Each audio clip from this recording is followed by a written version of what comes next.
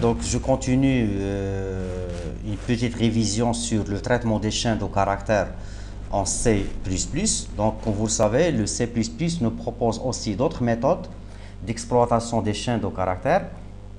Euh, une autre méthode, donc, ou bien de, deux autres actions donc, peuvent être réalisées euh, sur les chaînes de caractère. Donc je déclare une chaîne dénommée non donc, je vous rappelle que c'est une révision sur euh, des méthodes de, traitement de chaînes de caractère euh, avec le langage C et euh, le C++. Donc, j'ai déclaré une variable chaîne, par exemple non.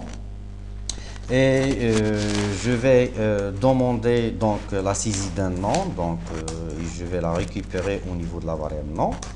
Une autre méthode, j'ai dit, donc c'est une méthode d'extraction non plus d'un seul caractère, paramétré par son indice, mais plutôt l'extraction d'un ensemble ou d'une sous-chaîne de caractères, c'est-à-dire un ensemble de caractères à partir d'une chaîne de caractères. Donc je parle ici de la fonction ou de la méthode substr. Substr, méthode d'extraction de sous-chaîne de caractères. Donc je vais rajouter une autre variable, chaîne S, dans laquelle on va récupérer le résultat de la fonction substr. Donc, je vais appliquer la fonction substr sur la valeur entrée dans la variable non, ou bien la valeur de la variable chaîne non, et je vais exploiter la fonction substr et je vais expliquer les paramètres de cette méthode.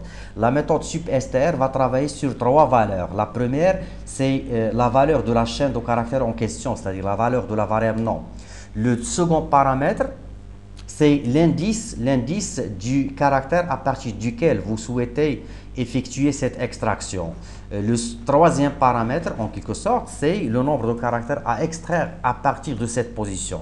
Donc, euh, dans cet exemple, on essaie extraire, on va essayer d'extraire à partir de la chaîne saisie dans la variable non, et à partir du premier caractère dont l'indice est 0, on souhaite extraire les trois premiers caractères, c'est-à-dire euh, voilà, le caractère dont l'indice est 0, 1 et 2. Donc à partir d'un caractère représenté par son indice, on souhaite euh, extraire un ensemble de caractères donc euh, représentés dans le second ou bien le troisième paramètre. Ici, je vous rappelle que la fonction substr travaille en quelque sorte, ou bien la méthode substr travaille en quelque sorte sur trois éléments.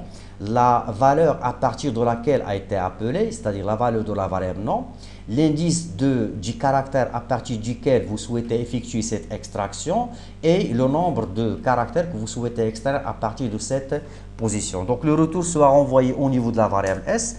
Donc une instruction pour euh, l'affichage du résultat renvoyé dans S, un système pose pour l'arrêt, un système pose pour l'arrêt et un return avec 0. Et je clôture, euh, donc euh, je sauvegarde, j'exécute.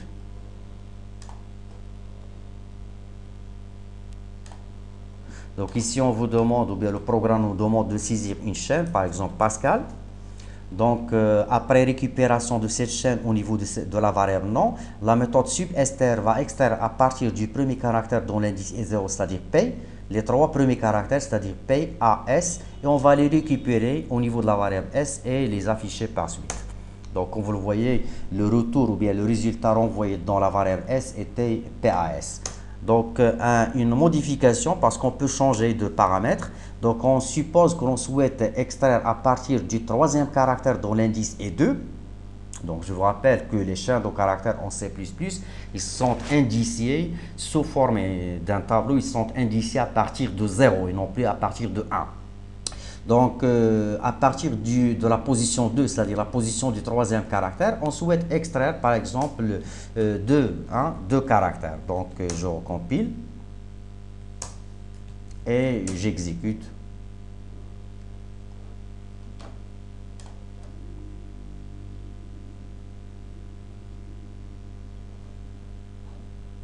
Donc la chaîne entrée par exemple euh, Pascal toujours, ou bien programmation si vous voulez.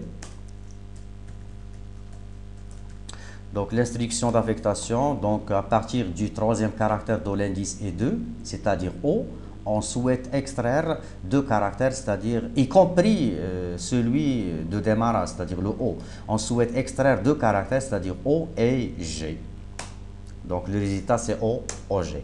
Un autre exemple, on souhaite extraire uniquement le premier caractère. Donc à partir de la position 0, on souhaite extraire uniquement le premier caractère.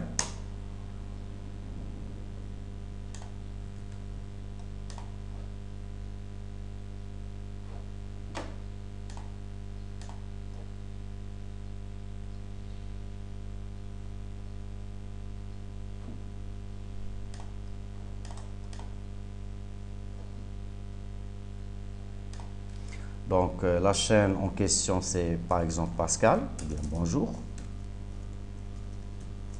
Le retour c'est P. Dernier exemple, on souhaite extraire par exemple le dernier caractère. Euh, donc on doit représenter pour généraliser la position du dernier caractère qui sera calculé à partir de la valeur de la variable nom et à partir du retour de la fonction size moins 1 vu que le premier caractère est indicé 0 donc l'indice du dernier caractère sera calculé à partir de la taille ou bien du nombre de caractères de la chaîne, euh, moins 1. Donc euh, voilà, donc un exemple d'exécution.